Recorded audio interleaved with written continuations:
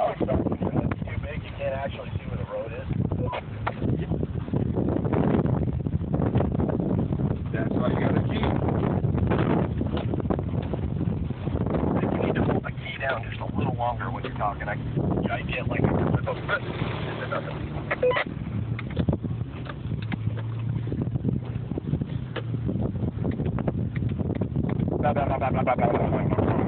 Yeah, just like that.